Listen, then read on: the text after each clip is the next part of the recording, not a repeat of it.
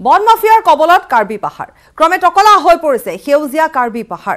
ছয়ত্ৰিশ নং ৰাষ্ট্ৰীয় ঘাইপথৰ দাঁতিত শাৰী শাৰীকৈ থকা মূল্যৱান চেগুন গছসমূহ এফালৰ পৰা কাটি তহিলং কৰিছে বন মাফিয়া চক্ৰই। কিন্তু সকলো দেখি শুনিও ৰহস্যজনক ভূমিকা পালন কৰিছে কাৰ্বি আংলং জিলা বন বিভাগে।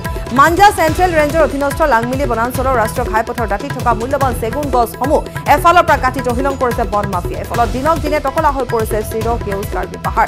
অভিযোগ অনুসৰি চোৰাং চেগুনৰ কুণ্ডাসমূহ স্থানীয় বন কৰ্মীৰে গোপন বুজাবুজি কৰি বন মাফিয়া চক্ৰটোৱে হোজাই নগাঁও তেজপুৰ যোৰহাটৰ লগতে নাগালেণ্ড ইম্ফললৈ চালান কৰি ৰমৰমীয়া ব্যৱসায় চলাই আহিছে। আৰু সেয়েহে এই ক্ষেত্ৰত বনমন্ত্ৰী পৰিমল শুক্লবৈদ্যৰ হস্তক্ষেপ দাবী কৰিছে সৰ্বসাধাৰণ ৰাইজে। বনমন্ত্ৰীৰ হস্তক্ষেপ দাবী কৰিছে স্থানীয় ৰাইজে।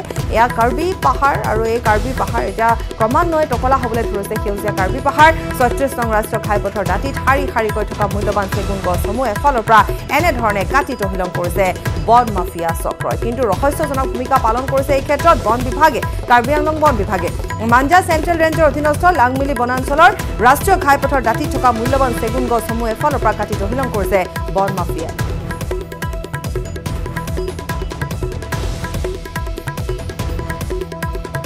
কাৰ্বি আংলঙৰ মাঞ্জাৰ চেণ্ট্ৰেল ৰেঞ্চৰ আণ্ডাৰত তেওঁলোকৰ যোনটো বৃহত্তৰ অঞ্চলত যোনটো বনাঞ্চল দুষ্টিকাৰীয়ে যোনটো কাটি কাটি ধ্বংস পথলৈ কৰিবলৈ বিচাৰে ইয়াত আমাৰ আটাইতকৈ সন্দেহ হৈছে যে আপোনাৰ খুব বেছি এশ ডেৰশ মিটাৰ আঁতৰত বিট অফিচ ফৰেষ্টৰ বিট অফিচো ইয়াত আছে।